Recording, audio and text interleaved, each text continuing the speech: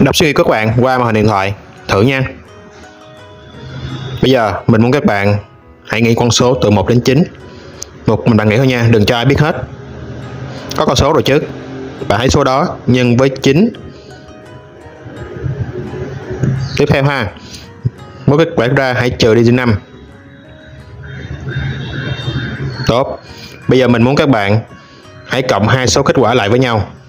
Mình thí dụ ha, 35 mình lấy 3 cộng với 5 sẽ là 8 là trường hợp, nếu như kết quả ra là vẫn hai con số, tiếp tục cộng hai số lại với nhau, cho tới khi chúng ta còn một số duy nhất. Có kết quả rồi chứ? Tuyệt vời. Bây giờ, ở đây chúng ta sẽ có một cái list nhạc. Các bạn hãy ghi nhớ tên bài hát, nằm ở vị trí con số mà bạn vừa được kết quả. Kết quả rồi. Bài đó là